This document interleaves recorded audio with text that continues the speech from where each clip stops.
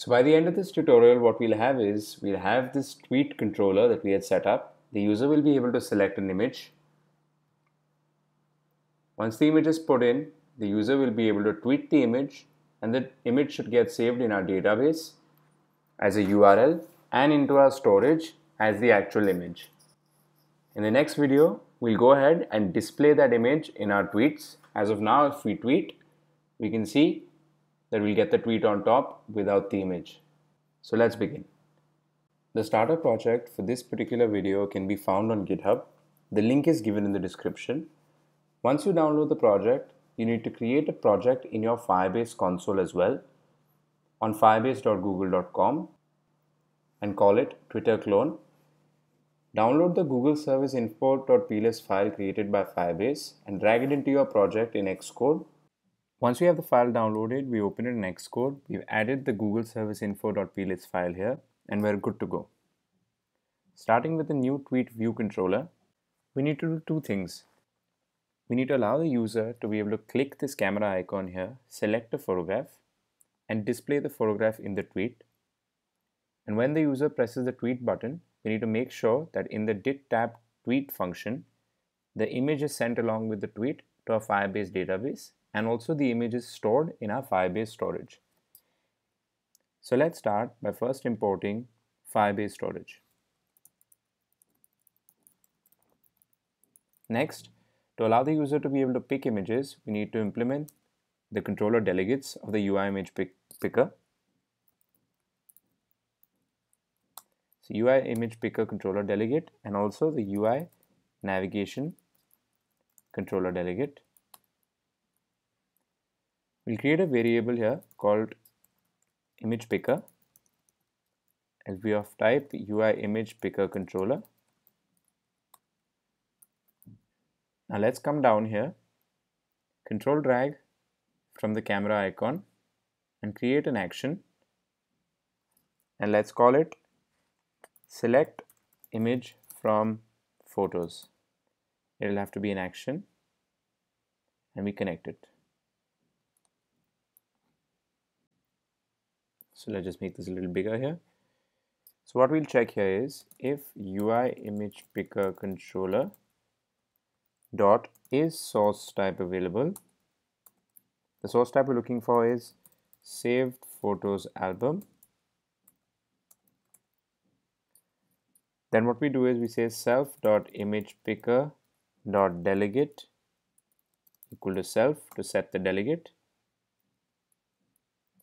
and we say self dot image picker dot source type is equal to saved photos album.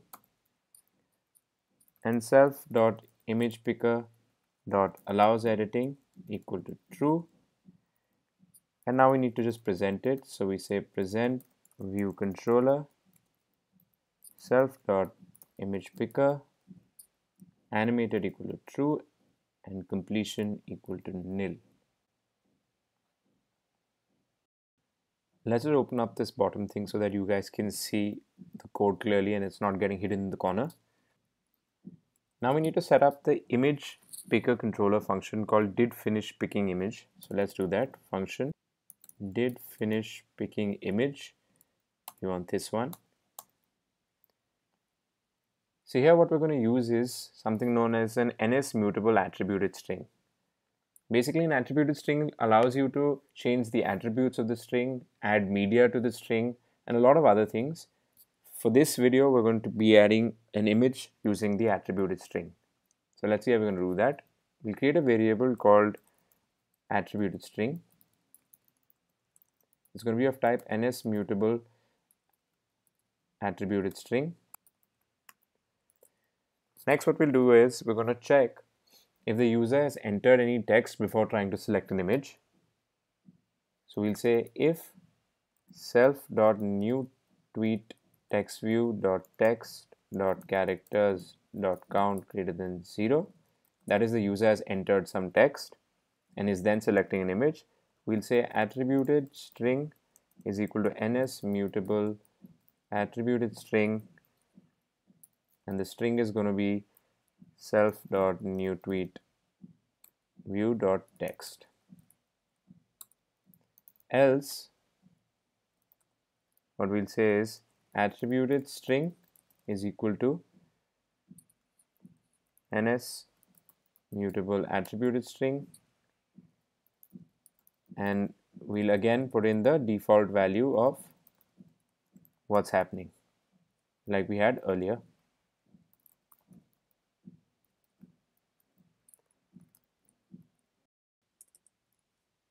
Also just add a new line here so that there's some spacing between the text and the image. Next what we'll do here is we'll create a variable called text attachment. It will be of type ns text attachment. Basically this is what will allow us to attach the image to the text and then put it in the attributed string. So let's say let text attachment dot image equal to image and we'll get the width of the original image. So we'll say let old width of type cg float equal to text attachment dot image dot size dot width. And before we put the image into the text view what we have to do is we have to ensure that it's scaled down to a size which fits in nicely below the text view. So let's see how we'll do that. We'll say let scale factor of type cg float equal to old width of the image divided by the new tweet text view dot frame dot size dot width and subtract the padding from that to get a nice scale factor. Next we'll just set the image of the text attachment. So we'll say text attachment dot image is equal to UI image. Inside that we'll select CG image. So we'll say text attachment dot image force unwrap that of type cg image force unwrap that as well. Set the scale to the scale factor and set the orientation as up. Now let's create a variable called let attributed string with image. And we'll say ns attributed string. And in that we'll put in the attachment which we just created which is text attachment. So now we have an attributed string with a text attachment which inside that has an image. Now all we need to do is we need to append this attributed string with image to our attributed string that we created here. So let's say attributed string dot append attributed string and inside that let's put in our attributed string with image and let's replace the new tweet text view with the attributed text which is equal to the attributed string. Also, let's just dismiss the view controller that allows the user to select the image and say true to animation and callback will be nil.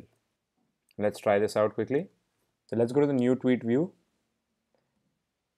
There, let's select the camera. Brings us to our photos. Let's select a photo. As we can see, the image is getting nicely placed in the center. But right now, we cannot press the tweet button to tweet the image. We need to change that code up. So let's finish that up now.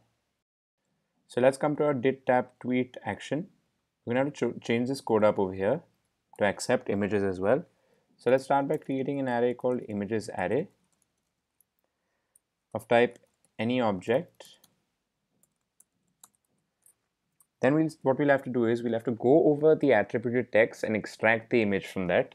So let's see how we'll do that. We'll say self dot new tweet text view dot attributed text dot enumerate attribute. In the attribute name, we'll say ns attachment attribute name. In the range, we'll basically say ns make range and the starting will be 0 and the length will be the length of the tweet. So new tweet text view dot text dot characters dot count. In the options we'll give no options. And in the block we'll have the value the range and we'll say true to the boolean to stop. That is once the image is found don't do any further processing on it. Now we'll check if the value returned is of type ns text attachment.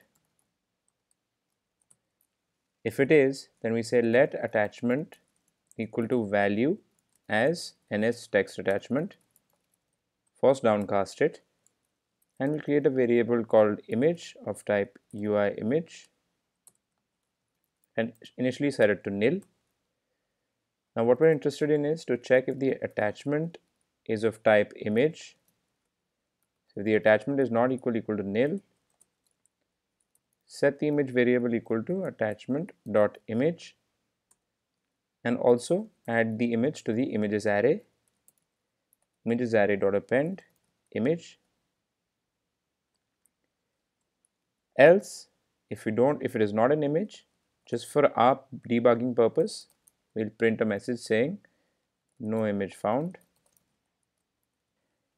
now that once we've determined if now once we've determined if we've got an image or not there are three cases that can be there the user could either have entered only text or a text and an image or only an image so we have to check those three cases and accordingly upload data to our database. Let's, let's create a variable called tweet length to store the length of the text. So let tweet length equal to new tweet text view dot text dot characters dot count and also let's create a variable called let num images equal to images array dot count to store the number of images. Now in the code that we have previously, we can extract out this key line here and place it outside so that we have the key. We can also create a storage ref where we're going to store our image. So let's create that. fir storage dot storage dot reference and what we can do is we can also create a reference for the exact location where we'll store the picture. So let's call that let picture storage ref equal to storage ref dot child. We'll go under the user profiles. Inside that we'll go under the logged in user as always.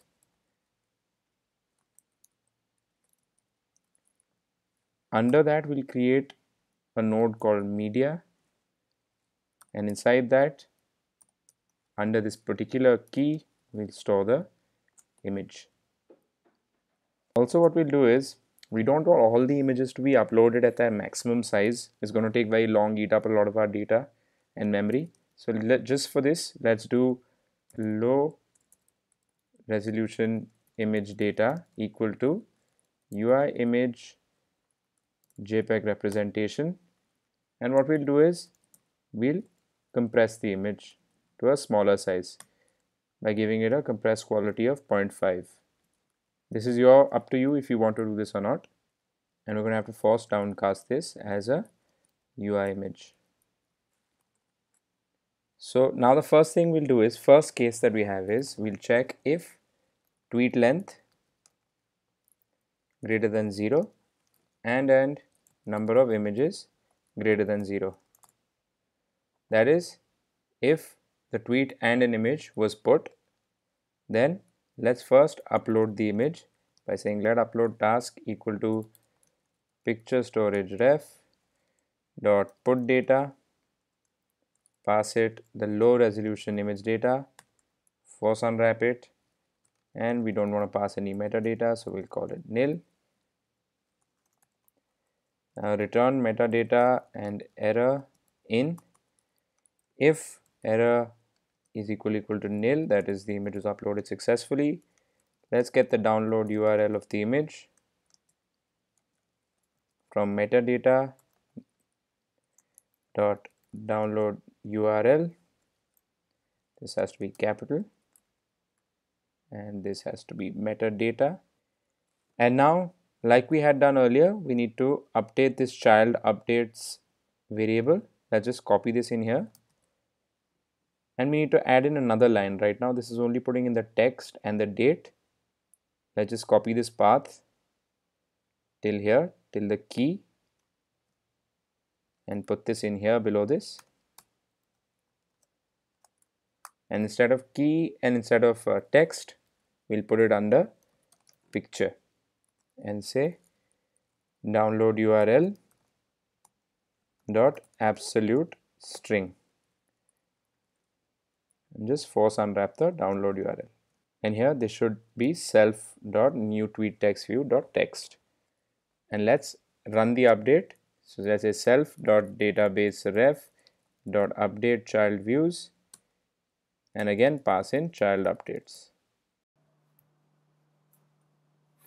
Next condition we'll check is if the user only puts in text and no image. So we'll say else if tweet length greater than 0 so in this we basically need this code over here which we had earlier without the update for the image. You can just put that in. It's passing in the tweet. It's passing in the time. And it's also updating the values and dismissing the controller. The last condition we need to check is else if num images which is if the user only puts in an image and no text. In that let's copy this one from here the first one and we'll just edit it once that's there we just need to get rid of this text line over here. The rest of the code remains the same. And we need to just dismiss the controller. So we'll say dismiss view controller animated true completion nil. So we have a dismiss view controller here as well which we had forgotten. So let's put one here as well. Animated equal true and completion equal nil. And we'll just put in an else block here for the images just to check that if there's an error, we'll just say print error dot localize localized description. And let's get rid of this code that we had earlier set up. So we check if there's an image and text we upload the image and then upload the tweet with the image URL. Second, we check if there, there's only text, we only update the text and the time. And the third one, if there's only image, we only put in the time and the URL and upload the image. So we're good to go. Let's try this out. So let's go to the new tweet. Click here, we get the camera icon. Let's select it. Select an image, click choose the image comes up with what's happening as a default text let's click here and let's tweet this and let's hope it works. And there we have it. The tweet is updated but as you can see we're only getting the text. The picture is not being updated over here. Let's confirm that the picture has been stored in our database. So here in our database we can see that we've got the picture up URL updated. We've got the text and we've got the timestamp. Let's go into our storage go into the user profiles go into our user ID and there we see a media folder has come up and inside that with that particular key we have the image uploaded which is already compressed so basically in this tutorial we learned how to add the image updated in our database but right now it cannot show it so in the next tutorial, we'll see how we can display the image over here and then build on the app. Thank you once again for watching. Please like and subscribe and try this out.